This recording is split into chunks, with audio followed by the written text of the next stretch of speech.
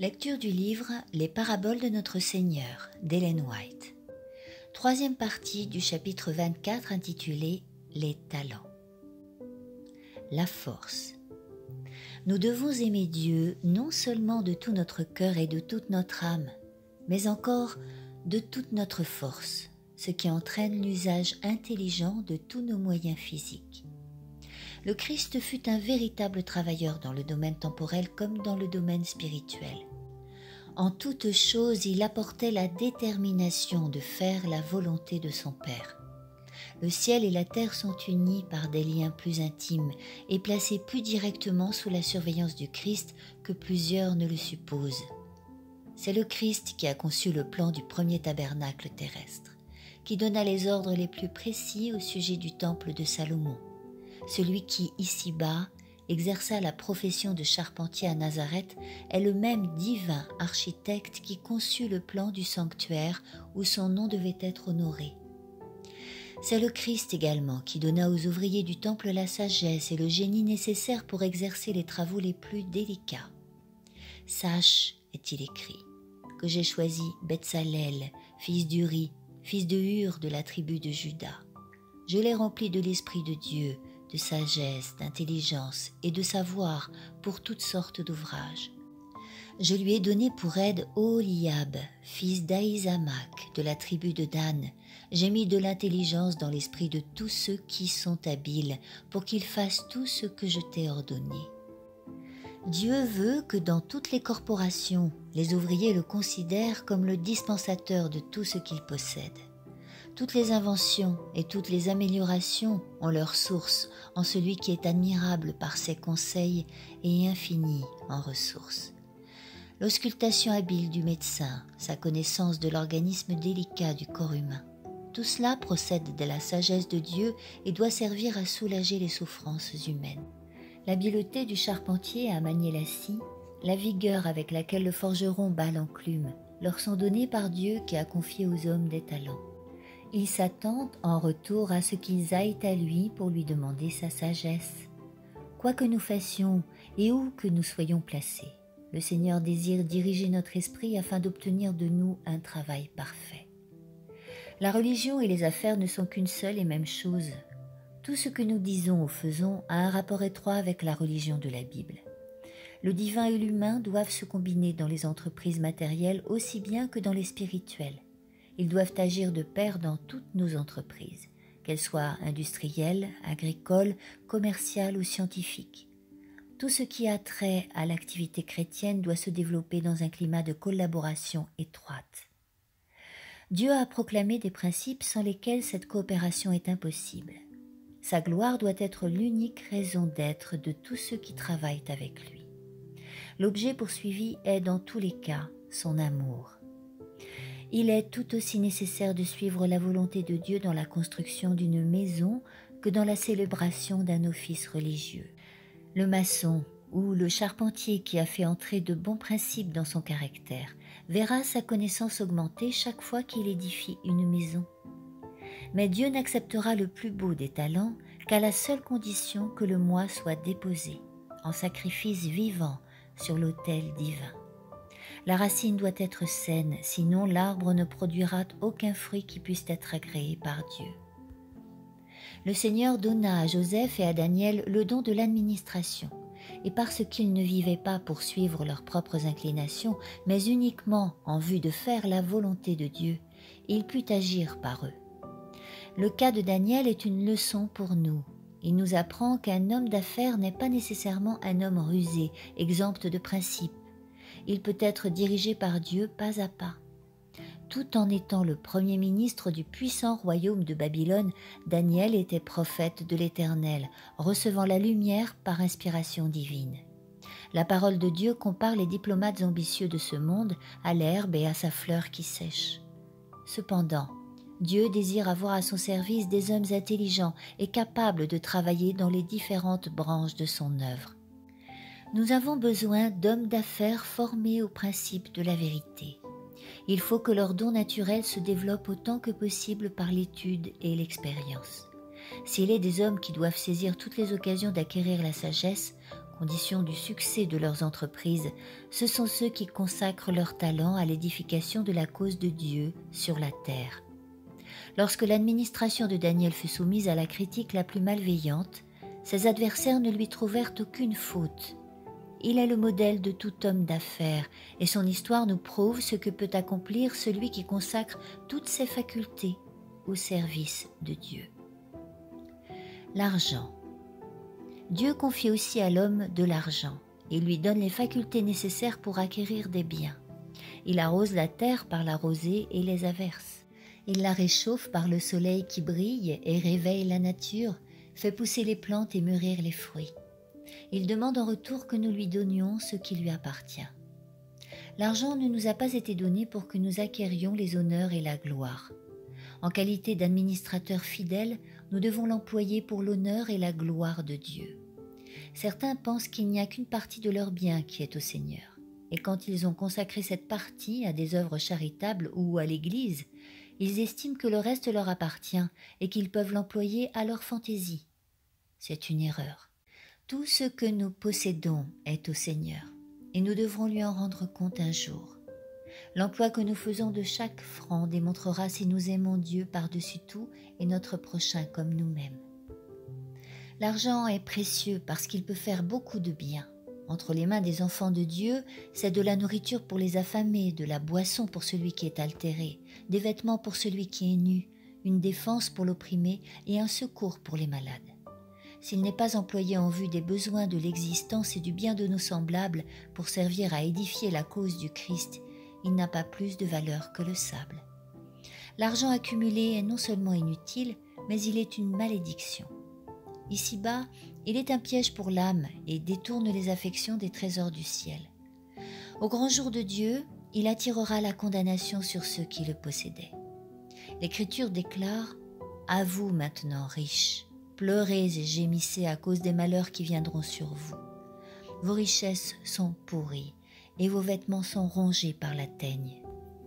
Votre or et votre argent sont rouillés et leur rouille s'élèvera en témoignage contre vous et dévorera vos chairs comme un feu. Vous avez amassé des trésors dans les derniers jours. Voici, le salaire des ouvriers qui ont moissonné vos champs et dont vous les avez frustrés crie, et les cris des moissonneurs sont parvenus jusqu'aux oreilles du Seigneur des armées. Mais le Christ condamne tout gaspillage d'argent et nous donne une leçon d'économie. Ramassez les morceaux qui restent afin que rien ne se perde, disait-il. Or cette leçon est destinée à tous les disciples. Celui qui comprend que son argent est un talent qui lui a été confié par Dieu sera économe. Il se sentira dans l'obligation de l'être afin de pouvoir donner. Plus nous dépensons inutilement, moins il nous reste pour donner à manger à ceux qui ont faim ou vêtir ceux qui sont nus. Tous les francs dépensés à des futilités nous privent ainsi d'une belle occasion d'exercer notre générosité nous empêchant d'accorder à Dieu l'honneur et la gloire qui lui a tiré l'usage judicieux des talents qu'il nous a confiés. Affection et impulsion généreuse. Une nature affectueuse, des impulsions généreuses, une vive intelligence des choses d'en haut sont de précieux talents qui engagent la responsabilité de celui qui en est doué. Chacun doit être consacré à l'œuvre de Dieu mais c'est là que beaucoup font erreur. Satisfaits de ces dons, ils ne les emploient pas au service de la collectivité et se contentent de dire que s'ils en avaient l'occasion et se trouvaient dans telle ou telle circonstance favorable, ils feraient une œuvre magnifique. Le malheur est qu'ils attendent que l'occasion se présente. Ils éprouvent du mépris pour le pauvre avare qui regrette le morceau de pain qu'il a donné aux nécessiteux. Ils voient que celui-ci ne vit que pour lui-même et qu'il est responsable des talents dont il fait un si mauvais usage. C'est avec une certaine complaisance qu'ils établissent le contraste qui existe entre eux et des esprits aussi étroits. Ils se jugent, du reste, dans une condition infiniment supérieure à celle de leurs misérables voisins. Mais ils se séduisent eux-mêmes, car la possession de qualités inemployées ne fait qu'accroître leur responsabilité. Ceux qui ont une nature aimante et généreuse doivent en faire bénéficier non seulement leurs amis, mais aussi les personnes qui pourraient avoir besoin de leur aide. Les avantages d'ordre social sont aussi des talents qui doivent servir au bien des âmes et à la gloire de Dieu. Ceux qui n'emploient pas les talents que le Seigneur leur a confiés se trouvent sous le coup d'une condamnation plus sévère que ceux pour lesquels ils n'éprouvent que du mépris. Il leur sera dit Vous avez connu la volonté de votre Maître et vous ne l'avez pas faite. Les talents se multiplient par l'usage. Les talents dont on se sert sont des talents qui se multiplient, et le succès n'est pas le résultat de la chance ou de la destinée, il est l'œuvre de la divine providence, la récompense de la foi et de la discrétion, de la vertu et de l'effort persévérant. Le Seigneur désire que nous fassions usage de tous les dons que nous possédons. Dès que nous le ferons, nous en recevrons de plus grands. Il ne fera pas un miracle pour nous accorder les talents qui nous font défaut, mais si nous faisons usage de ceux que nous possédons, il collaborera avec nous pour augmenter et fortifier chacune de nos facultés. Tout effort énergique et désintéressé au service du Maître contribuera au développement de nos talents. Si nous nous mettons à la disposition de l'Esprit Saint pour être ses dociles instruments, la grâce de Dieu agira au-dedans de nous, nous poussera à renoncer à nos anciens penchants et à former des habitudes nouvelles. Notre puissance dépend de l'intérêt que nous accordons à l'action du Saint-Esprit qui éveillera nos énergies demeurées à l'état latent et communiquera une vie nouvelle à nos facultés paralysées. Celui qui obéit aux appels de Dieu peut être assuré de son assistance. Accepter une responsabilité aussi grave et aussi sacrée nous garantit la perfection du caractère, met à réquisition nos facultés mentales et spirituelles les plus nobles, fortifie et affine l'esprit et le cœur. On est surpris parfois de voir combien, avec la force d'en haut, un être faible peut produire des forts puissants et productifs. Celui qui débute avec un minimum de savoir, se contentant de dire ce qu'il sait, tout en travaillant à acquérir d'autres connaissances, s'apercevra bien vite que tous les trésors du ciel seront mis à sa disposition. Plus il s'efforcera d'expliquer à d'autres la parole de Dieu, plus elle deviendra claire à ses propres yeux. L'usage de nos connaissances et de nos forces conditionnera nos progrès et notre puissance. Tout effort fait pour Christ apporte avec lui une bénédiction. Si nous employons nos ressources à sa gloire, il les augmentera. Nous serons vivifiés par la grâce de Dieu dans la mesure où nous travaillerons à gagner des âmes au Sauveur et les présenterons devant son trône par la prière. Nos affections acquerront une vivacité plus grande et notre vie chrétienne devenue plus fervente, plus réelle, sera de plus en plus animée par l'esprit de prière. Les intelligences célestes mesurent la valeur d'une âme par sa capacité d'aimer Dieu. Cette faculté est une source de toute puissance, car le Seigneur a créé l'homme de façon à ce que ses facultés servent à exprimer des sentiments divins. Aussi s'efforce-t-il sans cesse d'amener les sentiments de l'homme à l'unisson des siens. En témoignant sa grâce au monde, il nous offre la faveur de coopérer avec le Christ pour que notre connaissance des choses célestes soit accrue. En regardant à Jésus, on obtient des notions plus exactes et plus parfaites des choses célestes, et on est transformé par cette contemplation. On finit par aimer son prochain tout naturellement, et on forme un caractère digne du divin modèle.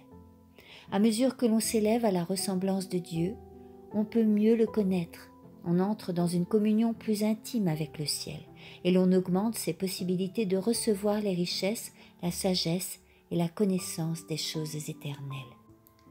Un seul talent. Celui qui n'avait reçu qu'un talent alla faire un creux dans la terre et cacha l'argent de son maître. C'était celui qui avait reçu le moins de talent qui négligea de s'en servir. C'est là un avertissement pour tous ceux qui croient que l'insuffisance de leur capacité les dispense de faire quoi que ce soit pour le maître. S'ils pouvaient faire de grandes choses, avec quelle joie ils les entreprendraient. Mais parce qu'ils occupent une position effacée, ils se croient justifiés en ne faisant rien. C'est une erreur. Dans la répartition des dons, le Seigneur éprouve les caractères. Celui qui a négligé de faire fructifier son unique talent a démontré qu'il était un mauvais serviteur. S'il avait reçu cinq talents, il les aurait enterrés comme il le fit pour le sien. Son mépris de l'unique talent donne la mesure de ce qu'il aurait fait des cinq s'il les avait reçus. Celui qui est fidèle dans les moindres choses l'est aussi dans les grandes. On méconnaît généralement l'importance des petites choses parce qu'elles sont modestes, mais elles contribuent beaucoup à la discipline de la vie. Elles revêtent la plus haute valeur, Les méconnaître dans la formation du caractère serait une attitude des plus dangereuses. Celui qui est injuste dans les moindres choses l'est aussi dans les grandes. Par son infidélité dans les petites choses, l'homme se soustrait au service qu'il doit à son Créateur. Cette faute aura sur lui des répercussions fâcheuses. Il ne recevra ni la grâce ni la force du caractère qui serait la récompense d'une soumission totale à la volonté de Dieu. Vivre éloigné de Jésus-Christ, c'est s'exposer aux tentations de Satan et commettre des erreurs au service de Dieu. N'étant pas conduit par des principes dans les petites choses, celui qui n'agit pas selon Dieu ne peut lui obéir dans ce qu'il considère comme la tâche primordiale. Les défauts entretenus dans les petites affaires de cette vie passent dans celles qui ont une grande importance. On agit d'après les principes que l'on s'est formés, et des actes souvent répétés engendrent des habitudes qui façonnent le caractère. Celui-ci finalement décide de notre destinée pour le temps et pour l'éternité. Ce n'est que par la fidélité aux petites choses que l'on apprend à s'acquitter fidèlement de responsabilités plus grandes. Dieu permit que Daniel et ses compagnons prissent contact avec les hommes imminents de l'empire de Babylone, afin de donner à ces païens l'occasion de connaître les principes de la véritable religion. Daniel avait pour mission de représenter le caractère de Jéhovah au sein d'un peuple idolâtre. Comment se prépara-t-il à un poste aussi délicat et aussi honorable? Toute sa vie s'explique par sa fidélité dans les petites choses, dans les devoirs apparemment les plus insignifiants. Il honorait son Dieu qui coopérait avec son serviteur. Il donna à Daniel et à ses compagnons de la science, de l'intelligence dans toutes les lettres et de la sagesse. Et Daniel expliquait toutes les visions et tous les songes. À l'exemple de Daniel, appelé à être le témoin de l'Éternel à Babylone, il nous appelle, nous aussi, à être ses témoins auprès de nos contemporains, pour que nous mettions en relief les principes de son royaume, aussi bien dans les petites que dans les grandes choses de la vie. Dans le cours de sa vie terrestre, le Christ nous a enseigné à prêter attention aux moindres détails de nos activités. La grande œuvre de la rédemption était continuellement devant son esprit. Toutes ses facultés mentales et physiques jouaient leur rôle dans ses enseignements et ses guérisons. Cependant, il remarquait les plus petits détails, soit dans les habitudes, soit dans la nature. Ses leçons les plus instructives étaient celles où il se servait des phénomènes de la nature pour faire ressortir les grandes vérités du règne de Dieu. Il n'ignorait pas les besoins du moindre de ses serviteurs, et ses oreilles étaient attentives à tous les cris de la misère humaine. Il n'était pas indifférent à la détresse de la pauvre femme qui, perdue au milieu de la foule, l'avait touché. Le moindre geste de foi recevait son exaucement. Quand il ressuscita la fille de Jairus, il dit à ses parents qu'il fallait lui donner à manger. Quand par sa grande puissance il triompha lui-même de la mort, il eut soin de plier et de mettre de côté avec soin les draps qui avaient servi à l'envelopper. En qualité de chrétiens, nous sommes appelés à collaborer avec le Christ au salut des âmes. C'est la mission qu'il nous a confiée et à laquelle nous nous sommes engagés de travailler. Négliger cette tâche constituerait une infidélité à son égard. Mais il faut que celui qui veut s'acquitter de son mandat suive l'exemple de son maître en s'occupant, avec la conscience la plus rigoureuse, des détails les plus insignifiants. Ceci réglemente, du reste, le succès de chaque branche de l'activité chrétienne. Le Seigneur désire que son peuple arrive au plus haut degré dans l'expérience chrétienne, afin qu'il puisse le glorifier par des facultés que lui seul peut donner. Sa grâce a tout préparé pour nous permettre de montrer au monde que la norme que nous suivons est meilleure que la sienne. Nous devons montrer ainsi que notre croyance en Dieu et en sa puissance sur nos cœurs nous rend supérieurs tant par l'intelligence et l'habileté que par la connaissance. Quant à ceux qui n'ont pas reçu de grands talents, ils ne doivent pas se laisser aller au découragement, qu'ils travaillent avec les moyens qui sont en leur possession, surveillant les points faibles de leur caractère et s'efforçant de le rendre fort par la grâce divine. La loyauté et la fidélité sont les deux facteurs qui doivent présider à chaque acte de notre vie. Nous devons cultiver les attributs qui nous mettront à même de nous acquitter de notre tâche. Coûte que coûte, nous devons vaincre nos habitudes de négligence. Il est des gens qui croient s'excuser des erreurs les plus graves en les mettant au compte de l'oubli mais ne sont-ils pas doués de facultés aussi bien que les autres? Il faut qu'ils disciplinent leur mémoire et l'exercent à être fidèles. L'oubli est un péché. C'est un péché que la négligence. Si vous formez des habitudes de laisser aller, vous pouvez oublier le salut de votre âme et découvrir quand il sera trop tard que vous n'êtes pas prêt pour le royaume des cieux. Les plus grandes vérités doivent être mises en rapport avec les plus petites choses. Une religion pratique entre dans les devoirs les moins importants de notre existence. La première vertu chrétienne consiste à apprendre l'obéissance implicite à la parole de Dieu. D'aucuns estiment que s'ils ne sont pas directement employés à une œuvre religieuse, leurs efforts sont vains et ils ne font rien pour faire avancer le règne de Dieu. Quelle erreur. S'ils font un travail que quelqu'un d'autre doit faire, ils ne doivent pas en conclure qu'ils sont inutiles dans la maison de Dieu. Même les devoirs les plus humbles ne doivent pas être négligés, car tout travail honnête est une bénédiction, et celui qui s'en acquitte fidèlement se prépare pour une plus grande œuvre. Si modeste que soit la tâche confiée à nos soins, si elle est réalisée dans un total oubli de soi, Dieu l'agrée comme un service d'une valeur infinie. Aucune offrande n'est petite quand elle provient d'un cœur qui la fait avec joie. Où que nous nous trouvions, le Christ nous exhorte à nous acquitter des devoirs qui se présentent. Quand vous travaillez à la maison, faites tout ce qui est en votre pouvoir pour la rendre aussi agréable que possible. Si vous êtes mère, élevez vos enfants pour le Seigneur, car c'est un travail qui a tout autant d'importance que celui de prédicateur en chair. Vos devoirs vous appellent-ils à la cuisine? Faites tout ce qui dépend de vous pour être une cuisinière modèle. Veillez à ce que vos repas soient à la fois appétissants, nourrissants et conformes aux règles de la diététique. De même que vous utilisez des produits de qualité pour les apprêter, rappelez-vous aussi que votre intelligence a besoin d'une nourriture substantielle. Avez-vous été appelé à cultiver le sol, à faire du commerce ou toute autre chose? Faites tout pour que vos efforts soient couronnés de succès. Travaillez de tout votre cœur. Soyez un représentant du Christ en toutes choses, agissant comme il le ferait à votre place. Si faible que soit votre talent, le Seigneur l'utilise dans son œuvre. Cet unique talent, sagement mis en valeur, réalisera le but qui lui est assigné. Par notre fidélité dans les petites choses, nous nous efforcerons d'augmenter ce que nous avons. Si nous agissons sur le plan de l'addition, Dieu se chargera d'agir sur celui de la multiplication. Ces petites choses auront une influence bienfaisante dans son œuvre. Qu'une foi vivante préside à l'accomplissement de nos devoirs même les plus insignifiants. Tout ce que nous ferons dans ce sens contribuera à la croissance du chrétien.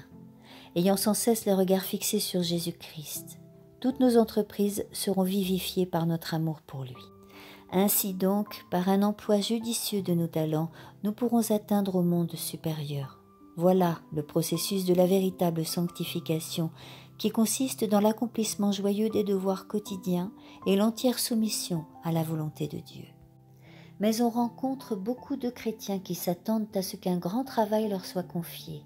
Ne trouvant pas le moyen de satisfaire leur ambition, ils négligent les petits devoirs de la vie journalière qu'ils jugent dénués d'intérêt. Jour après jour, ils laissent passer les occasions de montrer leur fidélité à Dieu, et pendant qu'ils attendent quelques grandes tâches, la vie s'écoule, son but n'est pas atteint, et le travail qui leur était assigné reste à faire.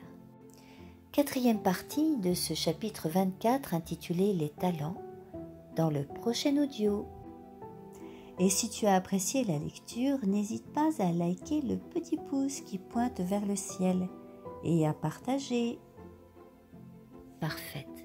Tous ces travaux manuels étaient caractérisés par la perfection qu'il apporta plus tard dans les caractères qu'il transformait par sa divine puissance. Il est notre modèle. Le devoir des parents est d'apprendre à leurs enfants la valeur et l'utilité du temps. Enseignez-leur qu'il vaut la peine de combattre en vue de faire une œuvre qui honorera Dieu et sera de quelque utilité pour l'humanité. Les parents ne peuvent commettre de plus grands péchés que de permettre à leurs enfants de vivre dans l'indolence. Ainsi élevés, ils ne tardent pas à prendre goût à la paresse et deviennent des hommes et des femmes versatiles, des parasites. En âge de gagner leur vie, ils trouvent un emploi, ils travaillent sans aucun goût, font traîner leur ouvrage en longueur, et cependant, ils prétendent à un salaire aussi élevé que s'ils travaillaient avec énergie. Entre eux et les ouvriers modèles, il y a toute la distance qui sépare la terre du ciel. On transporte naturellement sur le plan spirituel ces mauvaises habitudes d'indolence et d'insouciance que l'on a cultivées sur le plan du travail manuel. Elles disqualifient celui qui les a contractées pour une activité efficace dans le service de Dieu. Beaucoup de gens qui auraient pu être en bénédiction autour d'eux se sont perdus par leur indolence. Celle-ci ouvre la porte à une multitude de tentations, des compagnies perverses, des habitudes vicieuses conduisant fatalement à la dépravation de l'âme et de l'esprit. Elles ont pour résultat la perte de cette vie et de celle qui est à venir. Quel que soit le travail que nous sommes appelés à faire, l'Écriture sainte nous dit Ayez du zèle et non de la paresse. Soyez fervents d'esprit. Servez le Seigneur. Et ailleurs, tout ce que ta main trouve à faire avec ta force, fais-le, sachant que vous recevrez du Seigneur l'héritage pour récompense. Servez Christ, le Seigneur. La santé.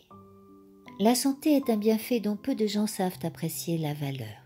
Et pourtant, n'est-ce pas d'elle que dépend en majeure partie l'utilité de nos facultés physiques et intellectuelles?